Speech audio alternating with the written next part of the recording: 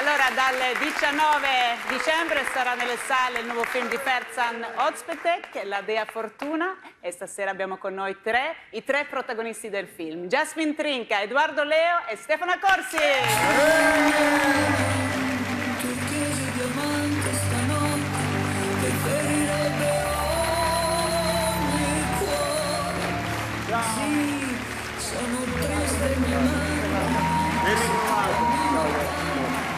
Stefanino! Buonasera.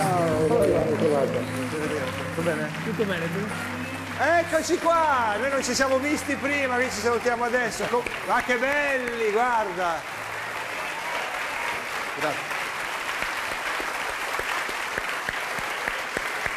Tre grandi attori del nostro cinema. A me mette sempre allegria parlare del cinema italiano. Ci sediamo, sì. ci- Sì, come? Come vuoi? Noi eravamo già in barriera, pronti. Cioè, appoggiandoci proprio su... eh, eh, È sedendo. una posizione che avete Ah, come volete, prima? no, come volete. Mettiamo- mettete la signora fra di voi. Fammi, fammi stare esterna. perché? Non mi sento, ti prego. Vuole stare esterno. Perché vuoi stare esterno? Vuoi andare via? No, Gesù, che c'è? Lui sceglie sempre anche il corridoio in aereo.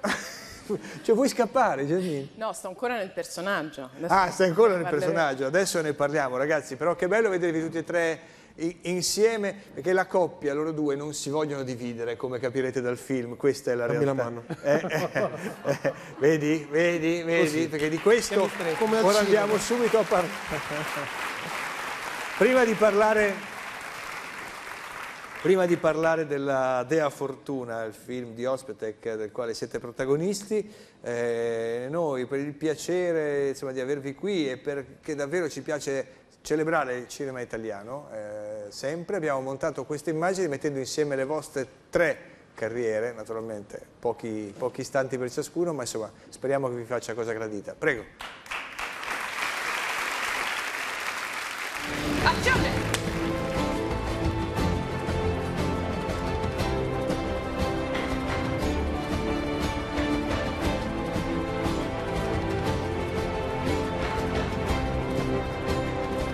Vacca boia, c'ho tutto qua, perché sono quello giusto!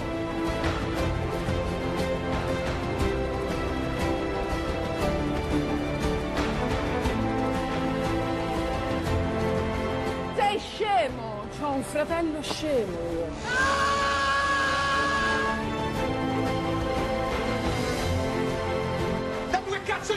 Sai che cosa sono? Sono una debole, vulnerabile e bisognosa. Questo sono.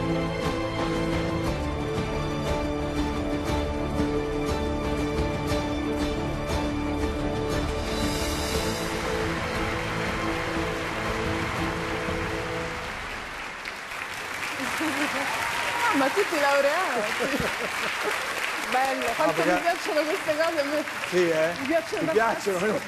Lo posso avere dopo per casa. Sì, te lo regaliamo, te lo duplichiamo. Questa Marcord, dalle teche Rai, ormai siamo... Ma sai perché? Perché al di là del piacere di vederlo, perché eh, credo che insomma in realtà poi i film, per arrivare al, al film di, di oggi, in realtà ci sono stati tutti gli altri, alla fine è un percorso che probabilmente uno si porta dietro involontariamente, no? Nella- Sì, la cosa curiosa è che in questo percorso, or- che ormai, come avete visto, viene da abbastanza lontano, noi tre non abbiamo mai, Mai lavorato, insieme. Eh, infatti, l'hai detto come una cosa e non lavoreremo mai. No, no. È stata la prima. Volevamo creare un caso unico. Beh, però lavorare insieme per la prima volta in un film di Ospitec non è male, insomma, no? No, è fantastico. Adesso questo film, eh, faccio una cosa molto vigliacca, ma siccome la trama è molto complicata da spiegare, perché a seconda di quello che dico svelo delle cose che non si devono svelare, affido a uno degli attori a scelta il racconto della, della trama.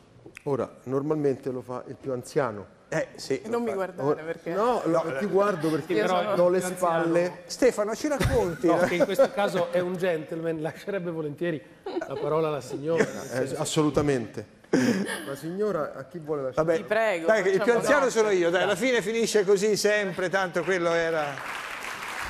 Va bene, diciamo così, che c'è una coppia, che siete voi due, una coppia gay, per l'appunto voi due, ehm, in crisi, per motivi- tanti motivi, insomma a un certo punto in questa, in questa crisi di coppia arriva, si presenta a casa una, una vostra amica, non qualunque, l'amica in realtà, la donna che vi ha fatto conoscere, quindi in realtà siete entrambi legati moltissimo a lei, e mm, vi dice che deve affidarvi i suoi figli.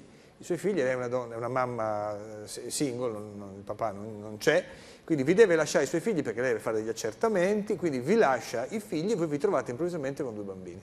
Esatto, dovrebbero Sì. essere pochi giorni. In realtà questi accertamenti prendono più tempo del previsto e noi ci troviamo a dover condividere la, la vita, un pezzo, una parte della nostra vita con questi bambini, insomma, eh, da che non eravamo assolutamente abituati. Ecco. E oltre a noi ci sono tutta una serie di amici intorno che sono, diciamo, questa sorta di eh, un gruppo, una famiglia, no? come Sì. dice sempre Ferza, la famiglia è quella che ci scegliamo. E, e solo che questi due bambini, entrando nella vita di questi due uomini che hanno un rapporto da 15 anni che comincia ad essere piuttosto precario, eh, squilibrano completamente la situazione, ma di tutto. E quindi da qui è come se fosse un nuovo inizio narrativo. Da qua diventa difficile raccontare altre cose perché Certo, è un film sull'amore, però possiamo dire è un film con molta tenerezza, eh, si capisce che l'unica medicina poi in realtà che uno cerca è quella dell'amore, cioè imparare ad amare, eh, il rapporto fra genitori e figli, il rapporto de- de- tuo con, la- con tua madre nel film, insomma un, un amore che manca da sempre, che viene cercato per sempre, ma io mostrerei Edoardo prima di tutto il momento eh, in cui appunto arriva, arriva mh, Anna Maria, Jasmine per l'appunto, a casa, Nella- nella nostra casa. vita. Prego, andiamo. Durante una festa. Ginevra, Filippo l'hai già conosciuto, no? Arturo? Guarda un po' chi c'è. No, ma dai! Ma che sorpresa! Ciao! Ciao! Come stai? Ciao, bene! Ciao! Ciao. Insomma, bambini, ma siete diventati grandissimi! Ma tu mi sa che non li conosci loro? Ah, lui non l'ho mai visto, ma lei l'ho vista quando era piccolina così. La stezza cane. No, perché c'ha una fase, diciamo, aggressiva. Perché ti nascondi così? Non mi sto nascondendo, signora. Piacere di conoscerla. Ha la fase opposta, lui dà del lei a chiunque incontri. Già lo amo. No, ma sembra timido, poi vedrete col tempo. lui si chiama Alessandro. Io lo chiamo Sandro, anche se non gli piace. Oh, vabbè. In questa casa c'è un altro Alessandro. Sì, c'è un'altra Alessandra. Vabbè, eh, lei è Anna Maria, quella storica. Avrete sentito mille volte questa storia, quella che mi ha presentato Arturo. Veramente? Meglio, meglio non sapere come. Ma li ho presentati una cosa come 15 anni fa 15 e mezzo. e non mi hanno fatto ancora causa.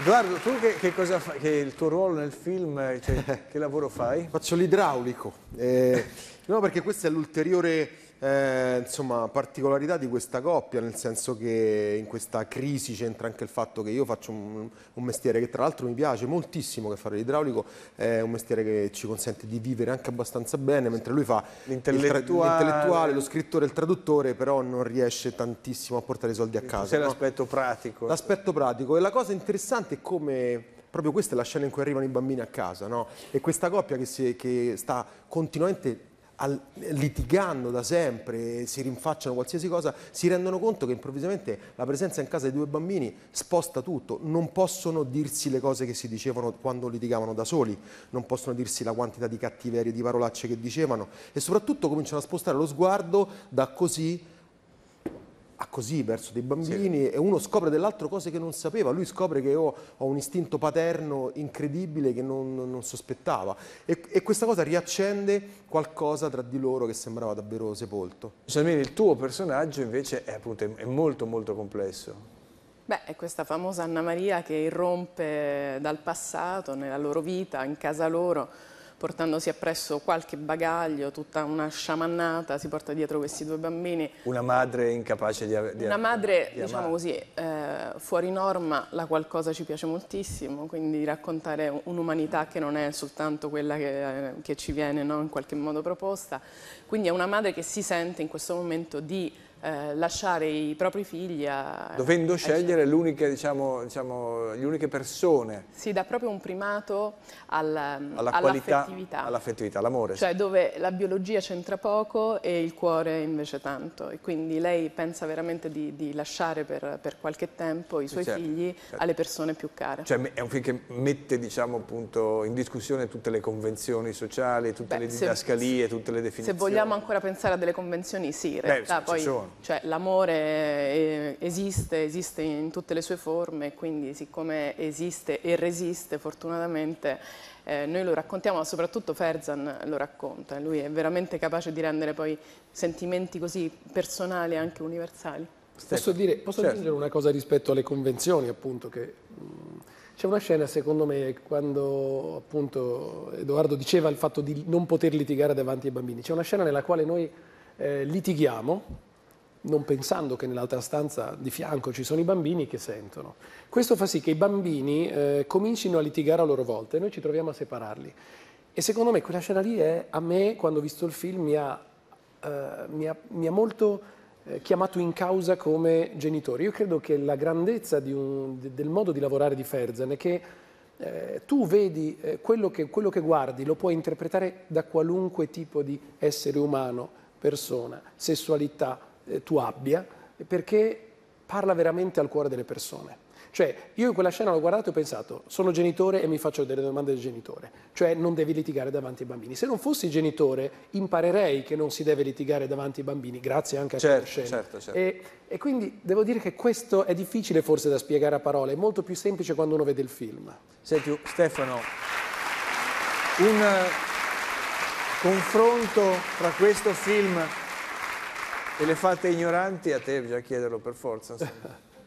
Ma guarda, eh, come si fa a dire? È difficile. Ecco, questa foto di gruppo che c'era qua dietro racconta secondo me bene un po' l'idea di questa famiglia, no? che noi siamo una coppia ma abbiamo, abbiamo una serie di amici. relazioni, di amici. relazioni e, tra l'altro la cosa, è una cosa, una cosa, ti dirò una cosa che non c'entra con le trame. Ferzan quando giri film assedia i quartieri.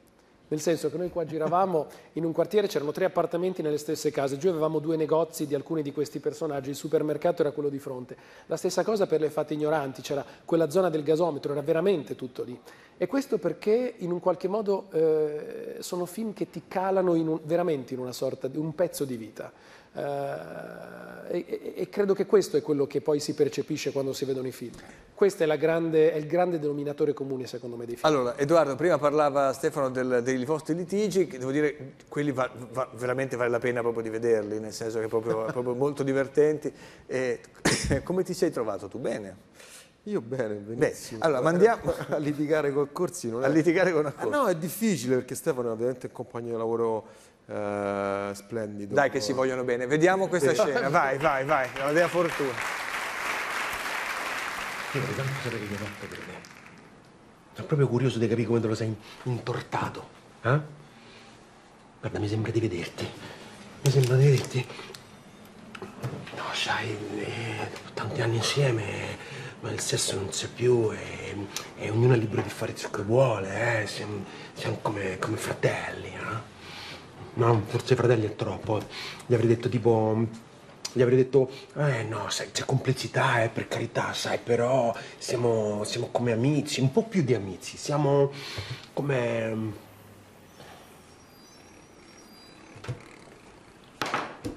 Come che? Ma che siamo io e te, Arto? Mm? Dai, dai il nome a sta cosa, vediamo che ti inventi. Mamma mia, ti sei sciolta la lingua? Eh? Erano secoli che non parlavi così tanto con me. Le corna ti fanno bene, lo sai? Dai, dai, dai, dammela, dammela, dai, dammela. Sei proprio un bambino, sai?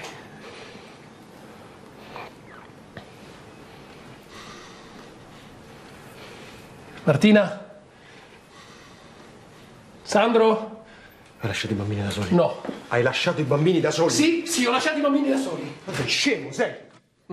Ed ecco che appunto lo sguardo si sposta dal se stessi No, no, questo è, è uno. Questo litigio qua è l'emblema di quello che dicevamo prima. Puoi stare lì a litigare, ma c'è qualcosa di superiore a tutti i litigi che puoi fare. A un certo punto c'è la sopravvivenza dei ragazzini, conta più di qualsiasi altra ripicca che puoi fare. Puoi anche in un momento in cui noi stiamo parlando di cose fondamentali, stiamo finalmente tirando fuori quello che non ci diciamo da 15 anni, ma nonostante questo, se si perdono i bambini, c'è qualcosa di più, più grave, importante, di molto più grave, di importante. pratico. Tra l'altro la locandina è perfetta, spiega benissimo il film, la Dea Fortuna, al cinema dal 19 dicembre, l'ultimo film di Ferzan Ospite, che io ringrazio tantissimo Stefano Grazie te. Edoardo Leo e Jasmine Trinca, tantissimo.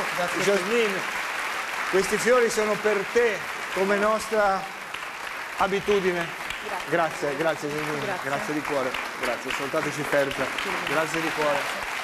Grazie davvero, complimenti, complimenti sempre. Ciao Edoardo, grazie, grazie, Stefano, a presto. Grazie, a presto. Grazie, Stefano Accorsi, Edoardo Leo, Jasmine Trinca.